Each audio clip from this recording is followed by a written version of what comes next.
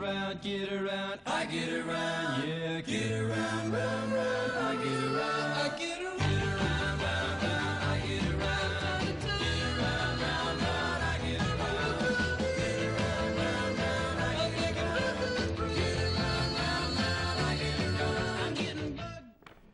È un'estate tra le più torride degli ultimi 150 anni, almeno così dicono. Di certo stiamo convivendo con temperature percepite elevatissime. La Campania, al pari e forse più di altre regioni italiane, anche quest'anno è stata aggredita dagli incendi dolosi da parte di piromani e colposi da parte di chi comincia a bruciare qualche sterpaglia e finisce per far dilagare le fiamme a boschi e macchia mediterranea. L'emergenza riguarda e come non potrebbe anche la provincia di Avellino. Ieri è stata una giornata particolarmente impegnativa su più fronti nel Baianese, Montefalcione, Lapio in particolare, dove le fiamme hanno lambito le abitazioni, capannoni agricoli, vigneti e si è reso anche necessario l'intervento di un elicottero, ma fino alla montagna di Montella, a poca distanza dal- dall'eremo del Salvatore, impegnatissimi.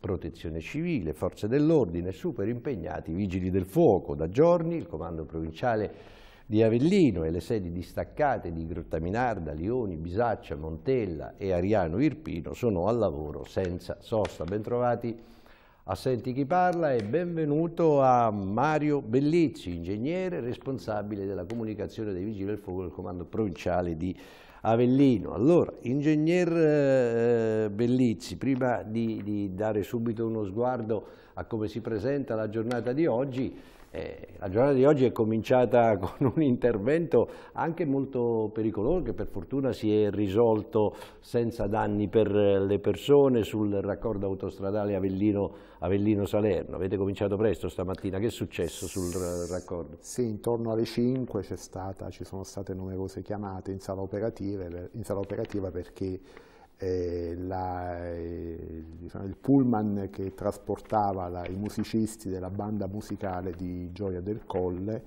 eh, che dovevano raggiungere Baiano, eh, durante il percorso l'autista si è accorto di un problema meccanico, ha visto del fumo eh, fuoriuscire dal, dal mezzo, ha accostato per fortuna, eh, questo fumo poi subito si è, mh, diciamo, si è tradotto in, in fiamme, le persone, tutti i musicisti sono riusciti a uscire, dopo pochissimi minuti si è raggiunto l'incendio generalizzato che ha coinvolto l'intero l'intero mezzo, mh, tant'è vero che il mezzo, i bagagli e tutti gli strumenti musicali purtroppo sono, Sono andati distrutti. perduti. Ai, ai, ai, ai, ai. Mi dispiace per il concerto bandistico di Gioia del Colle. In estate eh, è sempre più frequente su strade e, e autostrade in modo particolare eh,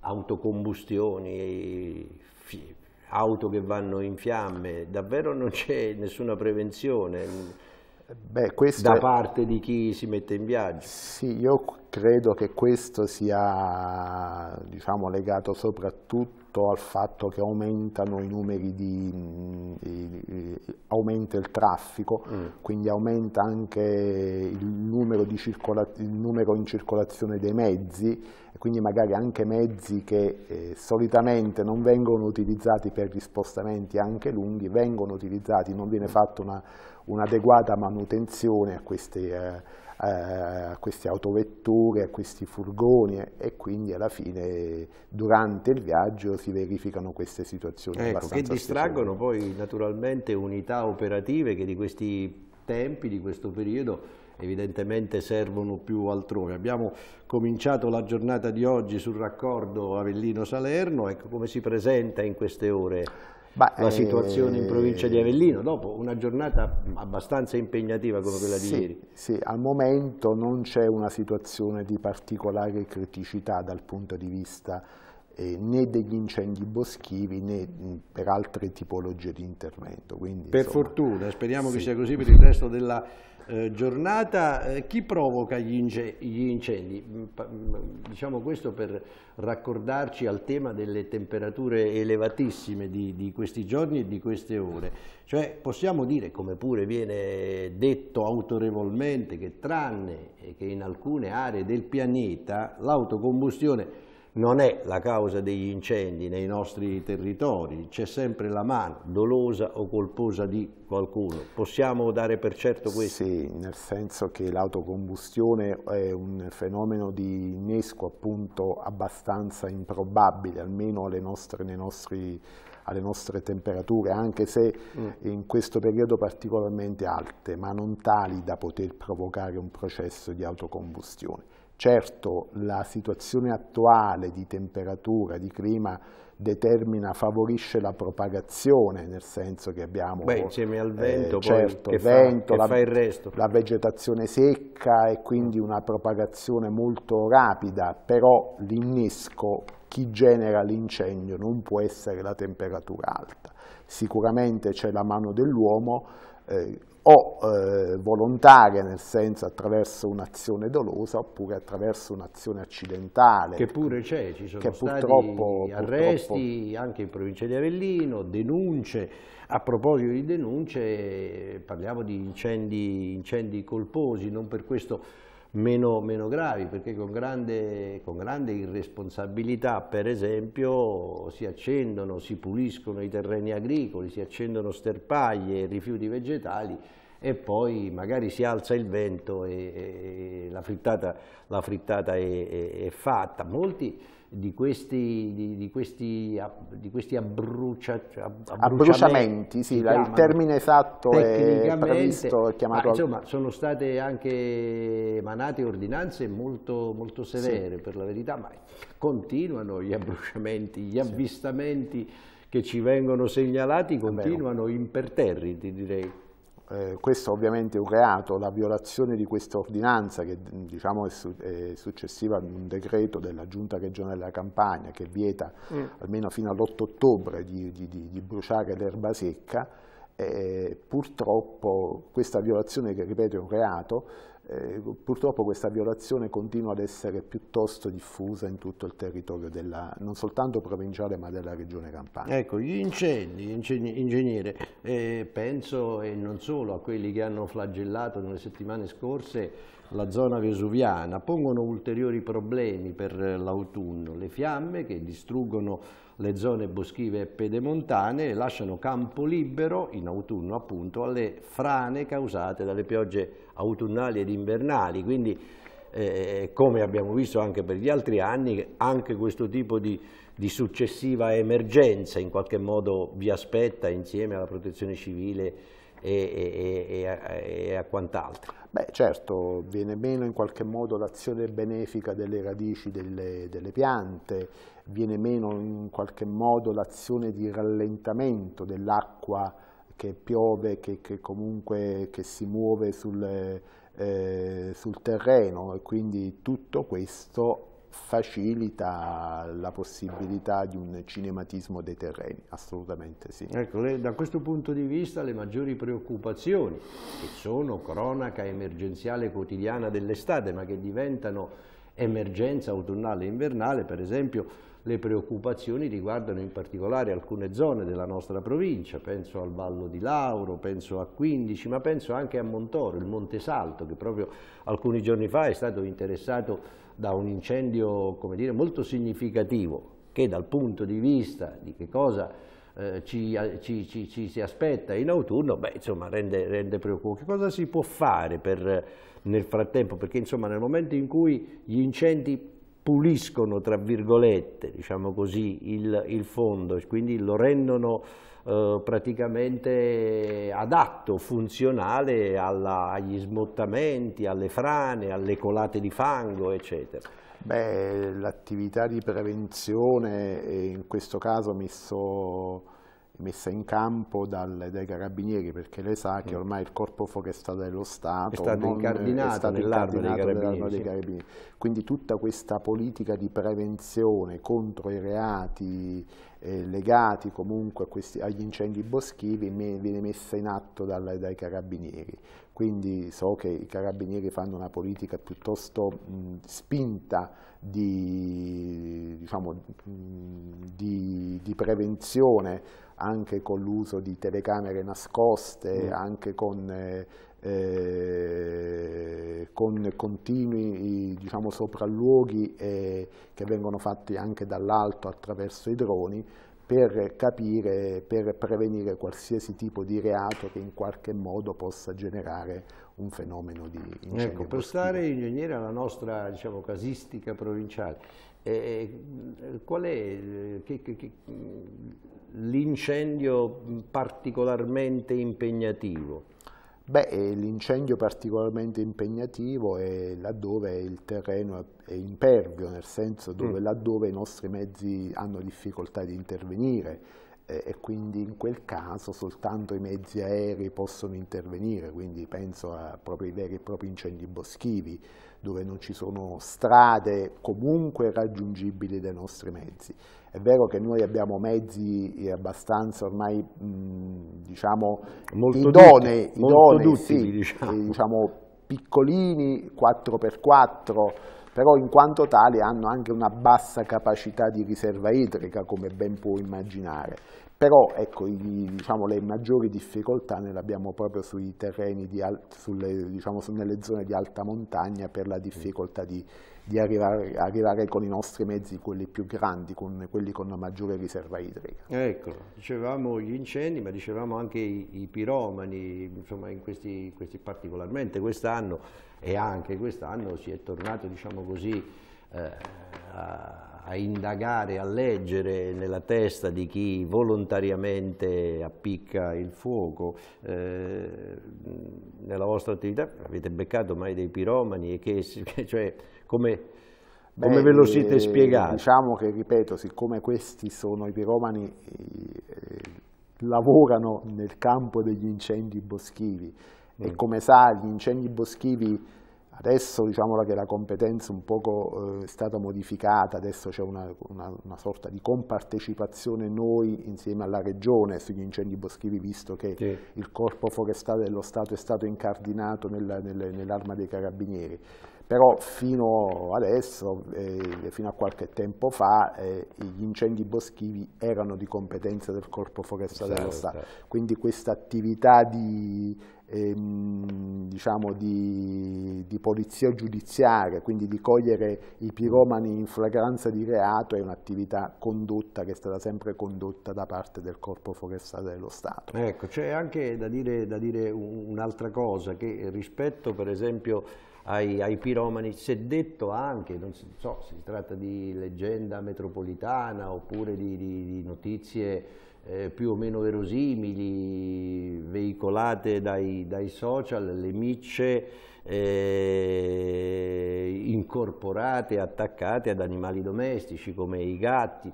Per quanto riguarda gli incendi sul- sul- sulla- nell'area vesuviana, eh, si era pensato anche a questo, non ci sono state, mi pare di ricordare, conferme, ma è possibile questo? Purtroppo sì, purtroppo sì perché l'uso degli animali, in particolare dei gatti, ripeto, purtroppo non riguarda soltanto gli incendi boschivi, ma riguarda proprio gli incendi anche di- in ambienti interni.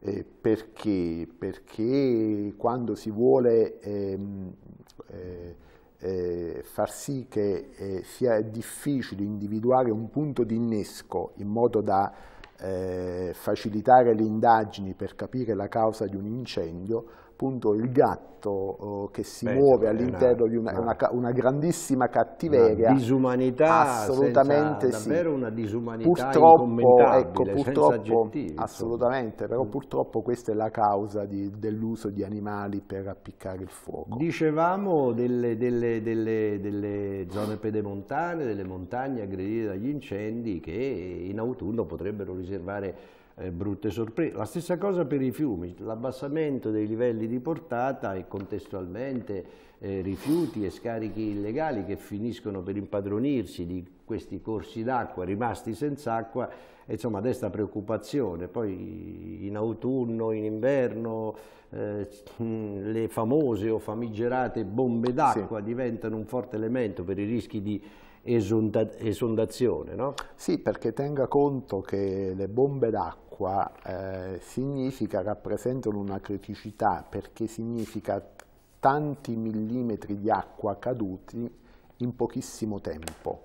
Ecco, questa altissima intensità di pioggia potrebbe creare dei fenomeni, di, di, diciamo, dei dissessi idrogeologici abbastanza importanti e quindi questi, questi, fenomeni legati ad una situazione eh, pregressa di assenza mm. di vegetazione eh, o eh, di, diciamo, di, mancata pulizia degli alvei e quant'altro crea situazioni. Evidentemente sì. Abbiamo detto il comando provinciale di Avellino, le cinque sedi distaccate in provincia di Avellino, eh, eh da, da, sempre, potrei dire, se non da, da molti anni almeno, eh, corpo, insomma, la carenza di organico e un trattamento economico più adeguato, sono temi ricorrenti, almeno a mia memoria sono questi. Come stiamo messi?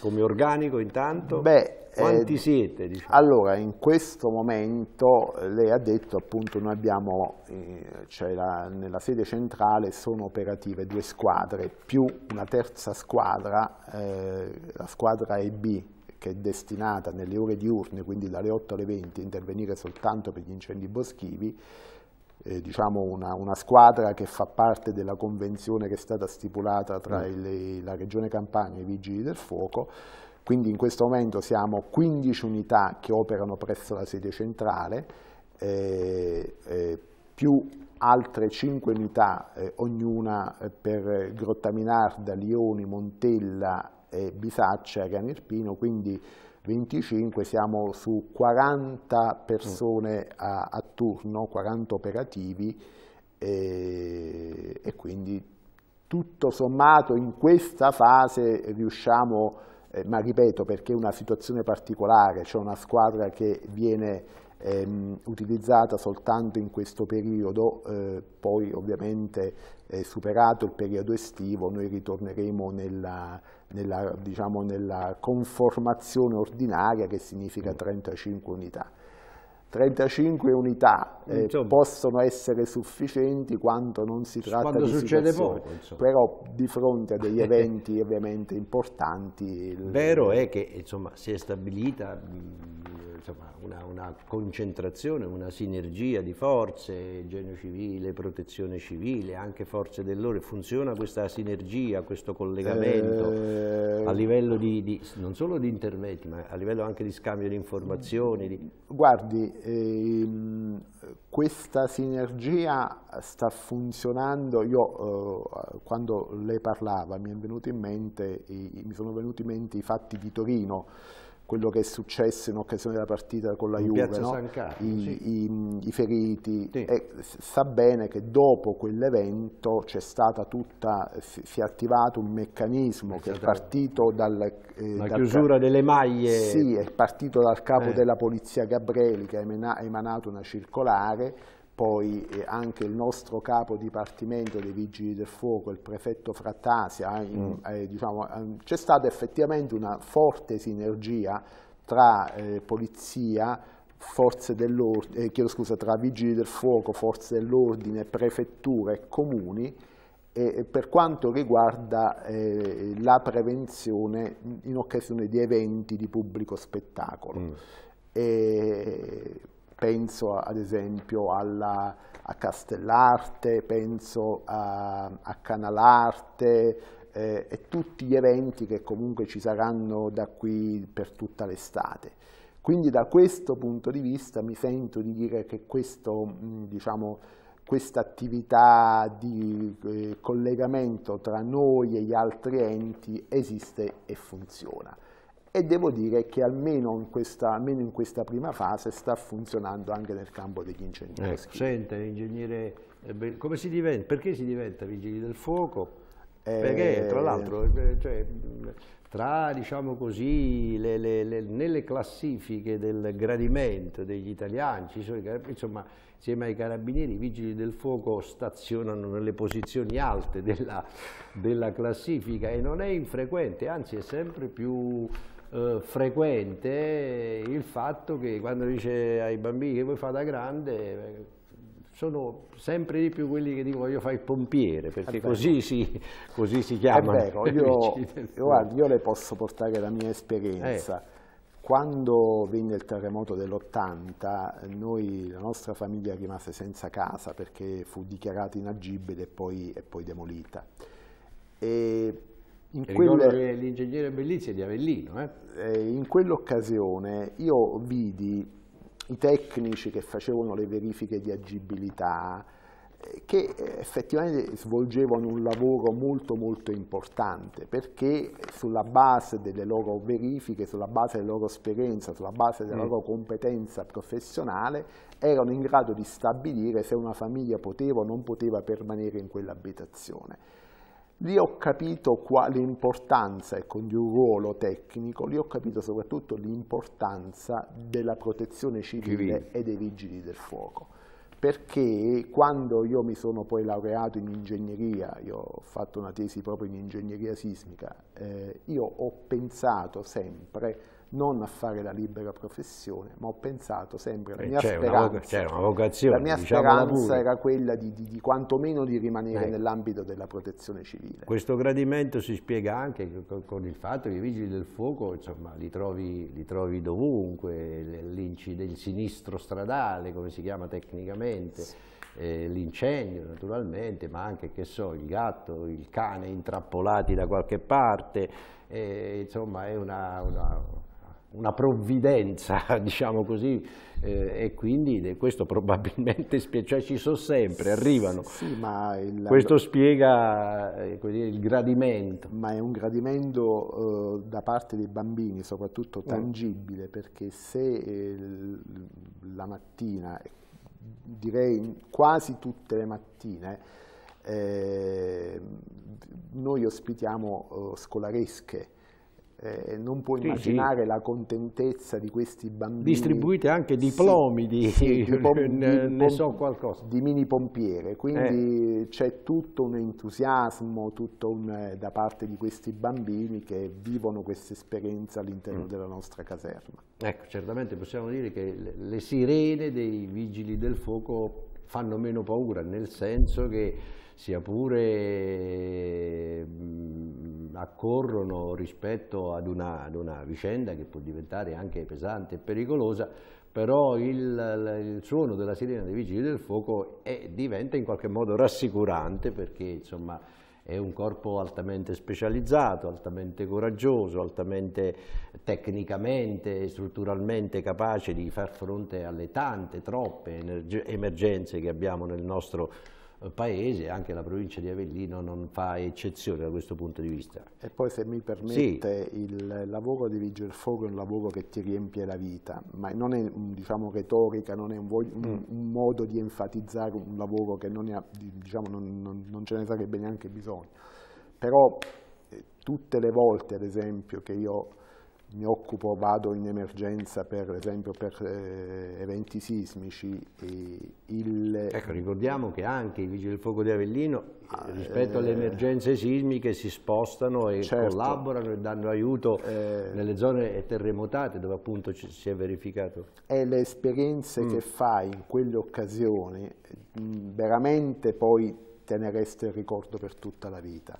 Eh, E quindi io capisco le- i colleghi, magari agli operativi che vanno in pensione, che una volta anche dopo la pensione non riescono a, a recidere questo cordone umbilicale col comando, per cui partecipano sempre a tutte le iniziative dei vigili del fuoco perché comunque forse eh, almeno con la testa non si va mai in pensione da vigili del fuoco. Bene, Mm, ingegnere Bellizzi, io la ringrazio molto per, eh, per essere stato nostro, nostro ospite, ci saluti e ringrazi insomma, il, eh, i vigili del fuoco, il comando provinciale di Avellino, delle sedi distaccate per il lavoro che garantiscono e assicurano alle nostre comunità e al nostro territorio. Eh, buon lavoro, Grazie. speriamo di, di- di- di poter fronteggiare con sufficiente eh, sicurezza le emergenze che dovessero eh, continuare a, a registrarsi e a capitare anche nella nostra provincia. Grazie quindi all'ingegner Mario Bellizzi Grazie a lei. Responsabile della comunicazione dei Vigili del Fuoco del Comando Provinciale di Avellino, grazie a Silvana Picariello che ha curato la regia di questa puntata e soprattutto grazie a voi che avete voluto seguirci anche oggi. Nel frattempo fate un buon fine settimana, magari al fresco. Arrivederci. Round, round, get around, I get around, yeah, get around, round,